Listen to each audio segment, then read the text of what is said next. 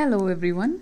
Uh, today we're going to be working on a really really easy set and the reason I say it's really easy is because this is all that you need.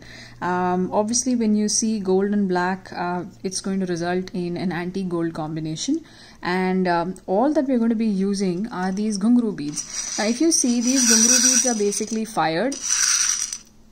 They're fired. So this is what we're going to be using as the um, well the main elements that we'll put together in order to create this beautiful necklace. Uh, this was actually a subscriber request um, a couple of weeks back or probably a couple of months back i would say. Uh, sorry about the delay but you know i've finally gotten myself to work around this. So i really hope you like the video and um, you know don't forget to like the video and subscribe to our youtube channel. So let's actually begin without any further delay